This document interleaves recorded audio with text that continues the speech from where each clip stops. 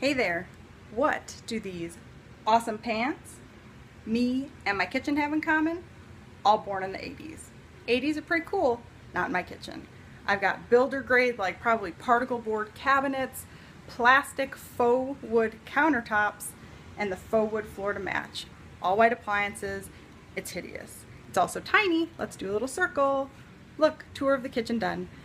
I cook all the time. I have a young family. I've got two preschool boys, a retired NFL player husband who's six foot four. He can't be in the kitchen when I cook. None of them can. They take up too much space. And I'm working from one prep area to another, walking back and forth with hot pans.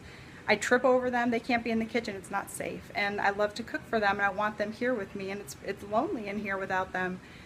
I also, I have terrible lighting. It's canned lighting. I can't see my food in the prep area. I can't tell if it's cooked or not. Is it pink? Is it done? I don't know. I can't see it because there's no flipping light in here.